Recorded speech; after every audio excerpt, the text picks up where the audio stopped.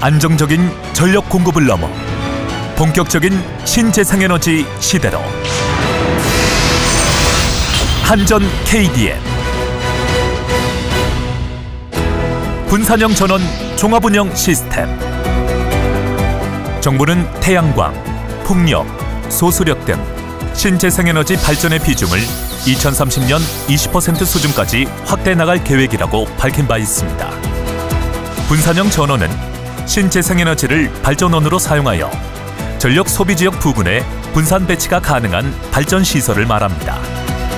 그러나 신재생에너지는 환경적인 영향을 많이 받아 발전 출력 변동 사항으로 인해 전압 상승, 배전설로 전력 품질 저하 등의 문제가 발생할 수 있습니다.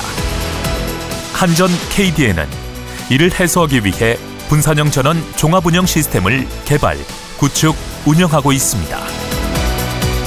분산형 전원은 발전량에 따라 저압 또는 특고압으로 배전 계통에 연계되는데 특고압 계통은 특고압 분산형 전원용 중계 장치, AVM 기능부 단말 장치,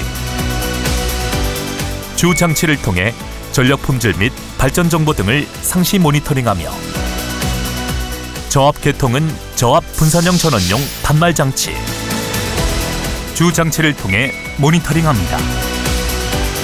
또한 기존 전압을 초과했을 경우 단말 장치가 인버터의 전압 제어를 통해 배전 계통의 적정 전압을 유지하도록 합니다.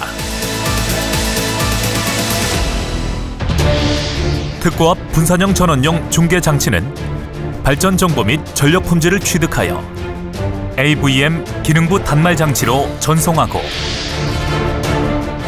AVM 기능부 단말 장치는 실시간 모니터링 및 기준 전압 초과 시의 전압 제어를 통해 적정 전압을 유지하도록 합니다.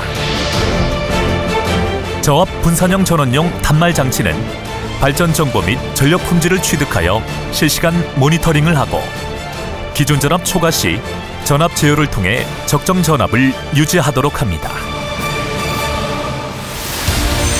정부의 재생에너지 3020 계획에 따라 더욱 중요해지고 있는 분산형 전원 종합운영 시스템 한전 KDN은 분산형 전원 종합운영 시스템을 통해 최적화된 배전계통 운영과 안정적인 전력 공급에 기여하고 국가 신재생에너지 성장의 밑거름이 되어 새로운 에너지 패러다임을 이끌겠습니다.